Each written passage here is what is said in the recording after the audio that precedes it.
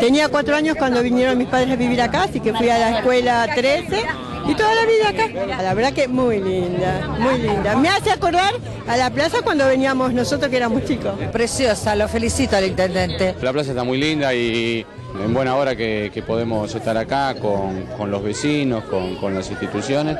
Es un acto simple, pero que disfrutamos el hecho de, de poder reinaugurarla. Estamos completando la obra de lo de las cloacas con, con AISA, con el gobierno nacional.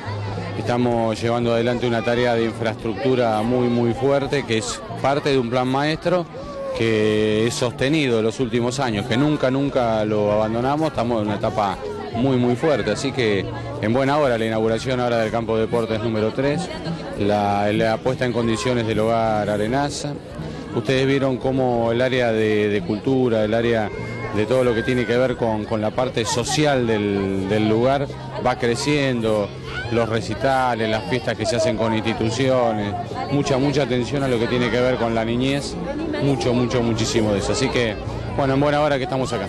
No, la verdad que a lo que era, a lo que quedó ahora y el tema de los juegos integradores, eh, divina, sin palabras. Me llamo Daniela Ábalos y soy preceptora en el Jardín Municipal número 3. Esperaron ansiosos la inauguración porque cada vez que veían querían cruzar y bueno, todavía no estaba lista, así que el día que la pudieron empezar a usar estaban re contentos.